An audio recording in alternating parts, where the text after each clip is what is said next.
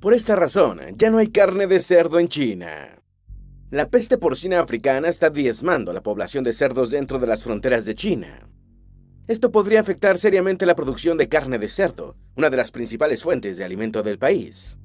Ya durante el año 2018 y 2019 hubo un brote de esta contagiosa enfermedad que casi acabó con las manadas de cerdos del país y que no fue erradicada totalmente. Y si la información ya se filtró mientras el Partido Comunista Chino controla todo, es debido a que el problema se está tornando tan serio que es imposible de ocultar. Entonces, tal y como prevé Reuters, cuando escasee la carne de cerdo, el gobierno chino entrará en alerta y deberá incrementar la producción de otro alimento, el arroz, para poder satisfacer las necesidades de sus ciudadanos. Pero producir arroz consume enormes cantidades de fosfato y China es el principal productor de fosfato del mundo y uno de los principales exportadores. Sin embargo, desde la crisis del 2018 ha empezado a reducir sus exportaciones de este fertilizante entre 20 y 80%, según la estación, para asegurar la producción de arroz. Así que una nueva crisis podría hacer que el Partido Comunista Chino se ponga nervioso y finalice sus exportaciones de fertilizantes, lo que amenazaría aún más la delicada estabilidad alimentaria del mundo. Porque solo con fertilizantes se puede intentar cubrir una parte de la demanda de alimentos. La invasión de Rusia a Ucrania ha empeorado la situación, que de por sí es alarmante, sobre todo para aquellos países que importan la mayoría de sus alimentos, o los que no cuentan con suelos fértiles ni producción interna de fertilizantes. Y escasez de alimentos es lo mismo que más hambre a nivel mundial. Antes de meternos a fondo, no olvides suscribirte a nuestro canal y activar las notificaciones para mantenerte al día con nuestras actualizaciones.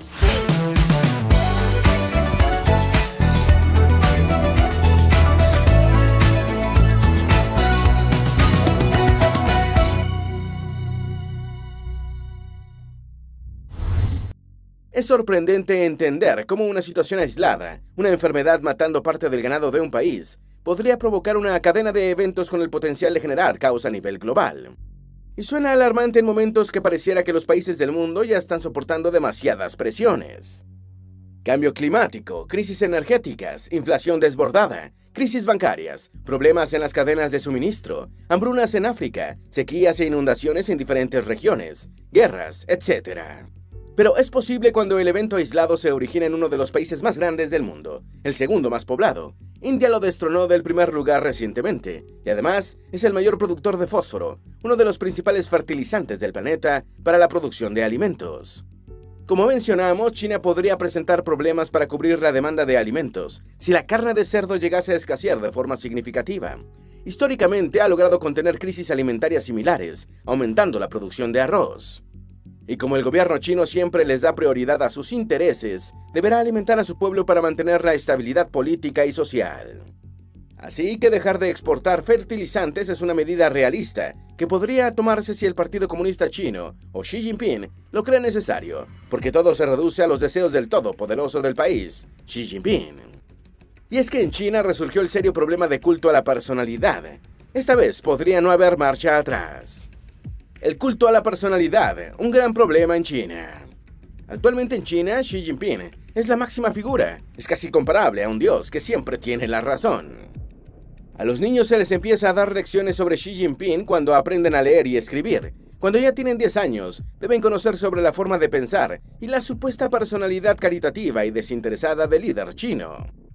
Para llegar a la adolescencia y formar parte activa de la sociedad china, deben saber historias de la vida de Xi Jinping. Sobre todo, tienen que, entre comillas, entender que el abuelo Xi Jinping siempre se ha preocupado por nosotros. La frase la puedes ver en importantes medios como el Financial Times. Esto debería encender las alarmas en una China moderna, pero es complicado cuando la veneración hacia Xi Jinping se dirige desde el gobierno. Lo cierto es que la situación evoca recuerdos del culto a la personalidad que se creó en torno a Mao Zedong, y con él, las terribles hambrunas y el terror que desató el ex líder chino durante la Revolución Cultural y el gran salto adelante. El culto a la personalidad es un fenómeno bien conocido que se aprecia en países como Corea del Norte, como Kim Jong-un, en la Rusia controlada por Stalin, la Cuba de Fidel Castro y una Venezuela que se dejó gobernar por Hugo Chávez. ¿Qué tienen estos países en común? La respuesta es pobreza y gobiernos autoritarios, los cuales no permiten oposición y hacen lo que sea necesario para mantener todo el control sobre las instituciones, las fuerzas militares y las personas. Por supuesto, quizás es algo exagerado comparar al gran dragón con estas naciones. En China hay una población que ha mejorado su calidad de vida, el poder adquisitivo de una parte importante ha aumentado, y el país se ha modernizado en cuanto a infraestructura y tecnologías. De hecho, y como muchos saben, China ha progresado económicamente de una manera notable en las últimas décadas. Y esto ha sido clave para que Beijing promueva su modelo chino por todo el mundo. Aunque hay que aclarar que esto fue posible porque el gobierno de Deng Xiaoping, de 1978 a 1989, rechazó el culto a la personalidad e introdujo límites de mandatos para evitar la devoción a un líder, máximo dos mandatos de cinco años. Si bien todos provenían del Partido Comunista Chino, los líderes chinos fueron rotando, dándole así más prioridad a China que a una sola persona. Pero todo cambió con la llegada de Xi Jinping en el año 2012. En su era, el Partido Comunista Chino está abrazando nuevamente el culto a la personalidad. El pensamiento del líder chino fue incorporado a la constitución del país durante un congreso en el año 2017. Este tipo de honor solo fue otorgado a un antiguo líder cuando controlaba la nación con puño de hierro, Mao Zedong. Seguido a eso, en 2018, fue abolido el límite de mandatos presidenciales creado con el gobierno de Deng Xiaoping. Todo por supuesto para prepararle el terreno a Xi Jinping, quien seguro gobernará por décadas, probablemente de por vida, y esto es un enorme problema para China y el mundo. Verán, cuando se crea un culto a la personalidad tan poderosa, pensemos en Kim Jong-un o Fidel Castro, el líder, el Mesías, un dios, el Salvador. Puede hacer lo que desea sin que nadie se atreva a llevarle la contraria, o siquiera mencionarle que podría estar cometiendo un error. Y ya que cualquier culto a la personalidad está basado en el mismo tipo de idea, el gran líder jamás se equivoca, porque es más sabio que cualquier simple mortal, y su visión siempre será la correcta. Y es algo que se aplica en China desde hace algunos años. Por ejemplo, todos los que se atrevieron a criticar la manera en que Xi Jinping manejó la crisis sanitaria fueron enviados a prisión. No importa si se equivocó, no hubo ni habrá consultas a los ciudadanos ni audiencias en el Parlamento para debatir sobre algo que haya ordenado el líder chino, era lo correcto, no importa el resultado ni las consecuencias. Y es por estas razones que la situación de la porcina africana en China no se ataca como se haría en cualquier otro país. La peste porcina africana está acabando con los cerdos en China. En China se está luchando contra la peste porcina africana que resurge con fuerza, la mortal enfermedad que afectó a la población de cerdos en el año 2018 y que por lo difícil que resulta erradicarla, se había mantenido activa, aunque causando daños muy leves por lo que se espera que los precios de la carne de cerdo, la de mayor consumo en el país, enfrente problemas de producción e incrementos de precios. Los motivos por los que se multiplican los daños de la enfermedad se originan por una negligente respuesta gubernamental, derivada por el asunto al culto a la personalidad que obliga al Partido Comunista Chino a tener como prioridad la estabilidad política y la imagen del país. En una nación normal, cuando un granjero sospecha la posibilidad de que uno de sus animales está infectado con alguna enfermedad, envía una muestra a un laboratorio y después de un determinado tiempo, la devuelven al resultado para que éste pueda tomar acciones. En China no es así. Cuando un granjero envía la muestra y el laboratorio la procesa, el resultado no se le entrega al granjero, sino a un miembro local del Partido Comunista Chino, encargado de notificar irregularidades de este tipo. Estos serán quienes determinen qué es lo más conveniente para el Partido Comunista Chino, si ignorarlo para evitar pánico e inestabilidad por el momento, o actuar para contener la enfermedad. Y bueno, al parecer la situación se ha vuelto tan seria que ya se están tomando medidas. Sin embargo, no es tan fácil con la peste porcina africana porque es una enfermedad altamente contagiosa y suele generar pérdidas masivas en cualquier población de cerdos. Los analistas de Xuan Securities dijeron, los datos de las empresas de pruebas de virus de la fiebre porcina muestran que la cantidad de detecciones positivas se disparó después de las vacaciones de Año Nuevo. El orden de magnitud en un solo mes ha alcanzado el nivel de todo el 2022. Además, agregaron, suponemos que el área actual de infección por peste porcina en las áreas de producción del norte puede estar llegando al 50%.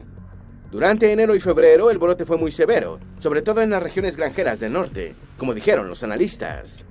Las provincias de Hebei y Shandong fueron bastante afectadas y son algunas de las principales productoras de cerdos, y en donde, según Pan Chen-hun, analista de Rabobank, hay áreas en las que se sigue luchando contra la porcina, porque se están viendo muchas nuevas infecciones desde inicios de marzo.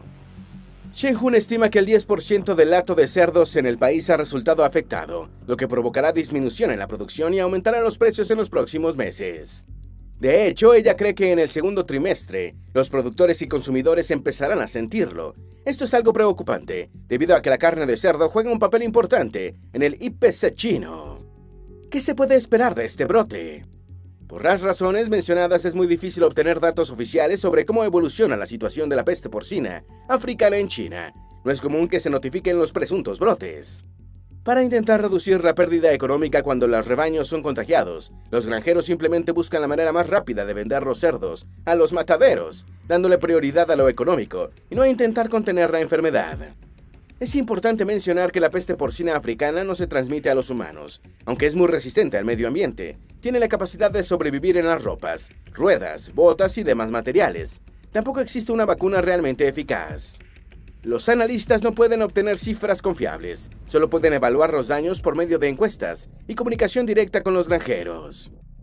Esta manera poco eficiente les ha permitido estimar que las pérdidas de producción de carne de cerdo podrían rondar entre el 8 y el 15%, seguramente podría ser mucho más.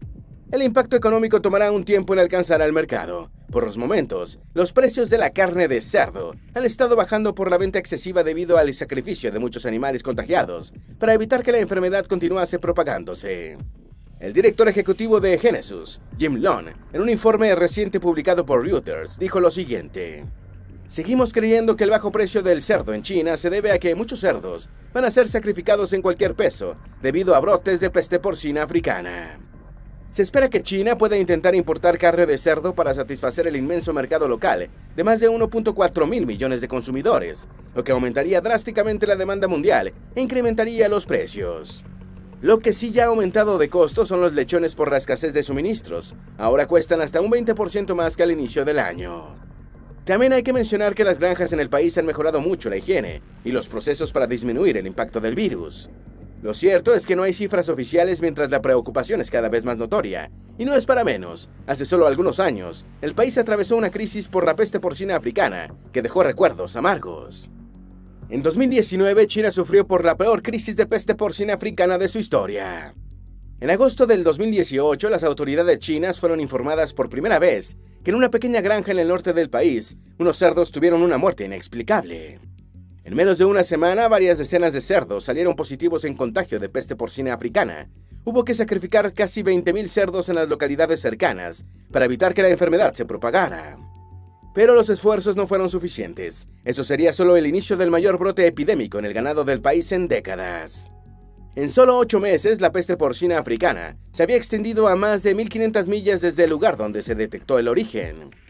Para abril del año 2019, los datos del gobierno mostraban que la enfermedad y los necesarios sacrificios produjeron una disminución dramática en la población de cerdos del país, la que desde hace mucho es la más grande del mundo. Según las estadísticas, la enfermedad diezmó las manadas de cerdos, lo que provocó aproximadamente 40 millones de bajas una pérdida del 10% de la población porcícola, en comparación con el mismo periodo del 2018, generando así que cayera a niveles tan bajos que no se veían desde la década de los 90. Esta situación estaba causando serios problemas en la industria porcina del país, en momentos en que las tensiones comerciales con Estados Unidos empezaban a escalar. El gobierno chino había impuesto aranceles a las importaciones de carne de cerdo estadounidense de hasta un 70%, mientras que los precios de los futuros del cerdo ya estaban aumentando en Estados Unidos por la alta demanda china, hasta en un 60%.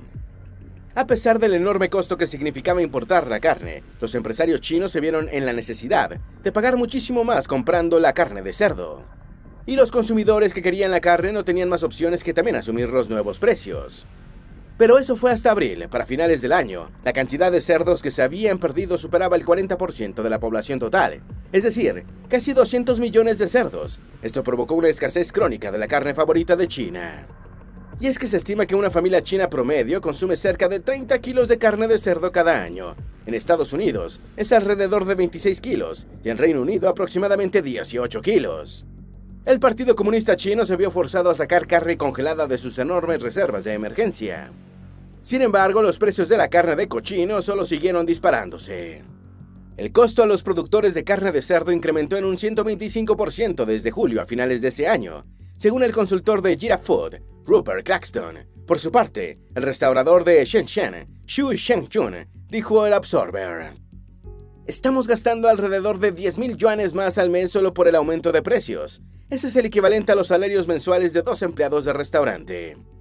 Todo el mundo sabe que esto es un problema ahora. Todos esperan que el precio baje antes o justo después del año nuevo chino. Si no es así, eso podría hacer que algunas personas piensen de manera diferente sobre sus negocios. Esto demuestra las preocupaciones que se vivían en aquel año por la peste porcina africana y lo que estaba causando en la oferta de alimentos. China multiplicó sus importaciones de manera agresiva. En septiembre del 2018, entraron 94 millones de kilos de carne de cerdo. En el mismo mes del 2019, compraron 161 millones. El resultado fue el esperado. Los precios de la carne de cerdo se dispararon en todo el mundo. Solo en Europa se vieron incrementos del 35%. Robert Claxton declaró ante The Guardian, en aquel entonces, el problema es que las exportaciones mundiales totales de carne de cerdo en 2018 fueron de 8 millones de toneladas y a China le faltan 24 millones. Simplemente no hay suficiente carne de cerdo en el mundo para llenar el vacío. Y por supuesto, no todos los chinos tendrían dinero para pagar los elevados costos de la carne, por lo que el gobierno necesitaba otro alimento que ayudase a la supervivencia de los más pobres, el arroz. China produce el 30% del arroz del mundo y tiene un gran costo en fertilizantes. China tiene siglos siendo uno de los mayores productores de arroz del mundo y produce alrededor del 30% que se consume globalmente. Es tanta la experiencia de China en este sector que se cree que la primera siembra de arroz se produjo hace unos 11.000 años, por lo que siempre ha sido una parte vital de la economía nacional. Además, tiene los rendimientos productivos más altos del continente, con una relación de 6.5 toneladas métricas de arroz por hectárea. El asunto con la producción de arroz en China es que se ha enfrentado con grandes desafíos desde la década pasada. Por ejemplo, el cambio climático, que ha provocado innumerables desastres naturales. Para producir al máximo, se han utilizado excesivamente los fertilizantes, lo que a su vez hace que la tierra sea menos fértil y requiera de más químicos. Otro ejemplo es el abuso de pesticidas, que conduce a cambios en la biodiversidad, lo que incrementa los brotes de plagas. Pero son tres cosas las que nos importan con respecto al arroz el aumento de la producción para cubrir el déficit alimentario que deja la escasez de carne de cerdo, el gasto extra de fósforo y la reducción de su exportación para asegurar la producción interna. Y es que China es el mayor productor, 138 millones de toneladas en 2021, y uno de los exportadores de fósforo más importantes del mundo, aportando el 30% de la oferta, aunque solo posee el 5% de las reservas totales del mineral. Si China vuelve a aumentar la producción de arroz, una cosecha que requiere muchísimo fosfato, sobre todo porque se siembra en tierras que perdieron su fertilidad, es altamente probable que el gobierno reduzca aún más o deje de exportar el fertilizante por tiempo indefinido. Y el mundo necesita hasta el último gramo de fertilizante, o las hambrunas empeorarán. Sin los fertilizantes, habría más hambrunas en el mundo. Se estima que al menos la mitad de la población mundial no existiría sin uno de los mayores inventos del siglo pasado, los fertilizantes. Estos fueron clave para que la población mundial experimentara un crecimiento explosivo, sin precedentes. Porque con el empleo de los fertilizantes se pudo multiplicar la producción de alimentos para satisfacer la demanda global y finalmente dar inicio a una era de consumismo. Los fertilizantes han sido especialmente importantes en países donde no se podría cosechar prácticamente nada por tener tierras con poca fertilidad, como en muchas de las naciones africanas. Como es bien conocido, durante casi toda su historia, los africanos han tenido que soportar duras crisis por falta de alimentos. Muchas de sus tierras carecen de fertilidad. Pero la producción de alimentos en el continente aumentó significativamente desde que se empezó a utilizar fertilizantes y ha sido clave para intentar sostener la inaguantable tasa de crecimiento demográfico en la región más pobre del planeta. Incluso si a Brasil, uno de los países latinoamericanos con mayores niveles de producción de alimentos, si se le quita el acceso a los fertilizantes, pronto se encontrará con enormes llanos de escasa fertilidad, donde no podría cosecharse nada. Los fertilizantes hoy son extremadamente necesarios para mantener el nivel de producción de alimentos, el cual ni siquiera es capaz de llegar a la mayoría de los lugares del mundo, y deja espacio para lamentables hambrunas que matan personas a diario. Entonces imaginen que la oferta de fosfato se reduzca en el mundo porque China decide aumentar sus reservas para asegurar su producción alimentaria. Aparte de aumentar de precios, el fosfato comenzará a escasear. Y el impacto será mayor porque desde el primer trimestre del año pasado, países importantes cortaron su suministro de fertilizantes y cereales tras el inicio de una guerra en Europa, aumentando los precios y la escasez tanto de alimentos como de fertilizantes. ¿Cómo la guerra en Europa empeoró todo? Como era de esperarse, la invasión a Ucrania trajo consecuencias nefastas para el suministro global de fertilizantes agrícolas, lo que ha incrementado el nivel de inseguridad alimentaria para el mundo entero. Rusia y Bielorrusia eran uno de los mayores exportadores de fertilizantes minerales, pero tras el inicio de la guerra, esto cambió por diferentes motivos. Entre esos motivos están las sanciones de Occidente, que indirectamente afectaron la exportación de fertilizantes de ambos países. El excluir a los bancos rusos del sistema SWIFT ha sido determinante. Las aseguradoras también se niegan a cubrir envíos en zonas de guerra, y la Unión Europea cerró las rutas de exportación a través de su territorio. Además, el gobierno ruso también terminó prohibiendo las exportaciones de fertilizantes.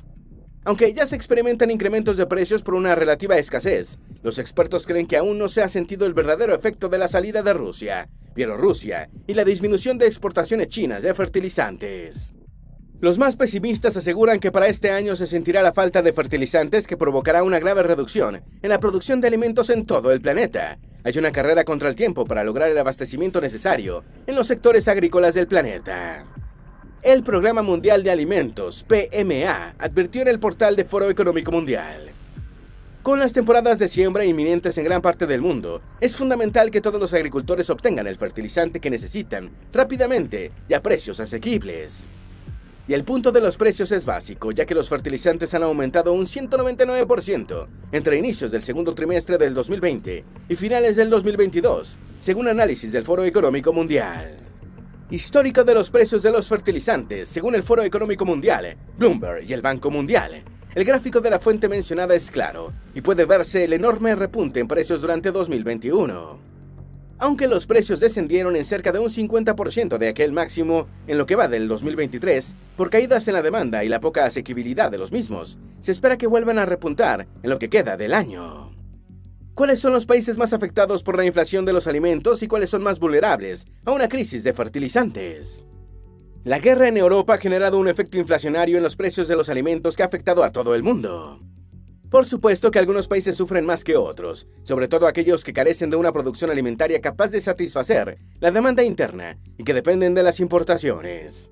Gran parte de las naciones experimentaron un aumento interanual en los precios de los alimentos superior al 5% en 2023, pero otras reportaron tasas de inflación muchísimo más altas.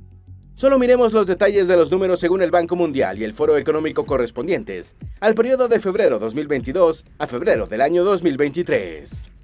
Zimbabue tuvo un escalofriante aumento de precios de aproximadamente 285% en solo un año.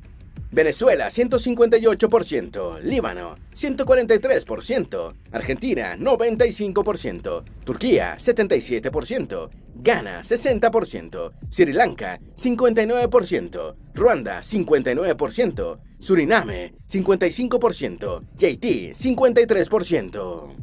Lo más preocupante es que la situación podría empeorar para estos países y el resto del planeta. La lista del informe del riesgo global 2023 del Foro Económico Mundial está encabezada por el impacto que tendrá la crisis del costo de vida, que no para de aumentar. El presidente del grupo del Banco Mundial, David Malpass, dijo al respecto. El aumento de los precios de los alimentos está teniendo efectos devastadores en los más pobres y vulnerables, y añadió. Los países deben hacer esfuerzos concertados para aumentar el suministro de energía y fertilizantes, ayudar a los agricultores a aumentar las plantaciones y los rendimientos de los cultivos, y eliminar las políticas que bloquean las exportaciones e importaciones, desvían los alimentos hacia biocombustibles y fomentan el almacenamiento innecesario. Situación de Argentina. En Latinoamérica, el cambio climático ha estado ocasionando serios problemas para los productores de alimentos, y Argentina es uno de los países con mayores complicaciones. La fuerte sequía que ocasionó enormes pérdidas ahora es seguida por una helada histórica para la época del año en que ocurre. Las bajas temperaturas están generando más daños en las cosechas de soja y maíz. Y es de preocupar, porque Argentina es el principal exportador de harina y aceite de soja a nivel mundial. Por lo que desde inicios de marzo, las compañías más importantes del sector agropecuario ya anunciaron que la producción de soja caería al menos un 37.6%, mientras que la del maíz en un 30%. La cosecha de soja estimada cayó de 50 millones de toneladas a 31.2 millones de toneladas, y la del maíz pasó de 55.2 millones de toneladas a 38.6 millones de toneladas. Según los expertos, es la peor pérdida del sector en los últimos 60 años. La Bolsa de Comercio de Rosario manifestó en una parte de su reporte. La Argentina se encamina a perder este año más de 20 mil millones de dólares por las pérdidas agrícolas ocasionadas por un desastre climático que afectó con sequía y heladas a la mayor parte de las regiones productivas. Si el 2022 nos pareció un año difícil, quizás podríamos extrañarlo si la situación alimentaria se complica en China y sus exportaciones de fosfatos se reducen, aún más, o llegan a ser suspendidas totalmente por tiempo indefinido. La capacidad actual de producción de alimentos en el mundo, para satisfacer la demanda de casi 8 mil millones de personas, está pasando uno de sus peores momentos, y es difícil imaginar que las cosas podrían mejorar en el futuro cercano. Este 2023 será un año complicado que podría definir el rumbo que tomará la década. ¿Progreso o crisis mundial? ¿Tienes alguna duda o sugerencia? Haz tu aporte escribiendo en los comentarios y así entre todos nos ayudamos.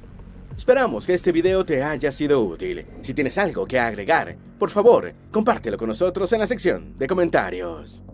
Dale me gusta a este video y envíale el enlace a tus familiares y a tus mejores amigos, para que también sepan la razón por la que ya no hay carne de cerdo en China, y otras causas por las cuales la crisis alimentaria global podría aumentar.